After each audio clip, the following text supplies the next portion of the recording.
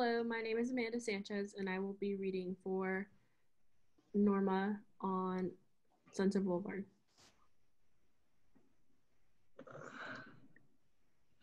I had some trouble with my car, flat tire.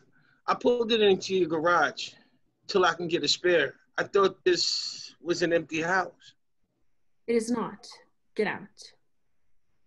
I'm sorry, and I'm sorry you lost your friend, and I don't think red is the right color. Get out. Sure. Wait a minute. Haven't I seen you? Or shall I call my servant? I know your face.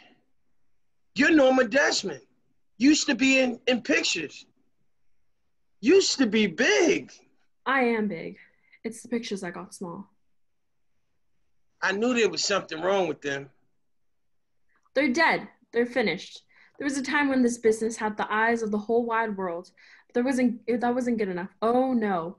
They wanted the ears of the world too. So they opened their big mouths and out came talk, talk, talk. That's where the popcorn business comes in.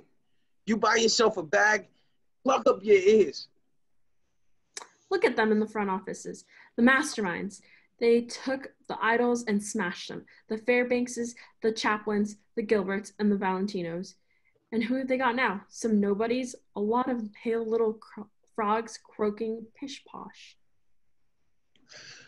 Don't get sore at me. I'm not an executive, I'm just a writer. You are writing words. Words. You've got a rope of words and strangled this business, but there is a microphone right there to catch the last gurgles and Technicolor to photograph the red, swollen tongue. Shh. Get out. You'll wake that monkey. Get out. Next time I'll bring my autograph album along and maybe a hunk of cement and ask for your footprints. Brown reading for the role of Gillis in Sunset Boulevard. Hello, my name is Amanda Sanchez, and I will be reading for Norma in Sunset Boulevard.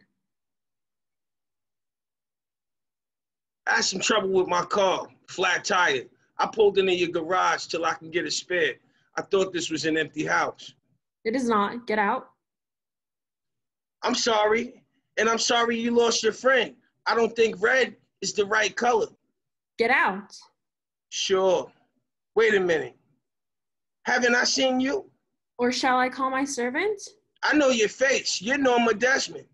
You used to be in pictures. You used to be big. I am big. It's the pictures I got small. I knew there was something wrong with them. They're dead. They're finished. There was a time this business had the eyes of the whole wide world, but that wasn't good enough. Oh no. They wanted the ears of the world too, so they opened their big mouths and out came talk, talk, talk. That's where the popcorn business comes in. You buy yourself a big bag and plug it up in your ears. Look at them in the front offices. The masterminds, they took the idols and smashed them. The Fairbanks, the Chaplins, and the Gilberts, and the Valentinos. And who have they got now? Some nobodies? A lot of pale little frogs croaking pish posh.